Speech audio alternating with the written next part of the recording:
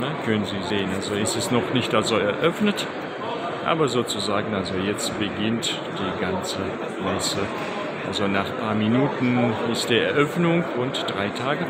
Also, liebe Reisegäste, wir freuen uns also auf Ihren Besuch äh, nach Usbekistan zu kommen. Usbekistan, ein schönes Reiseland und wie gesagt, also unsere Türen für euch sind in Usbekistan auf jeden Fall geöffnet. Dankeschön.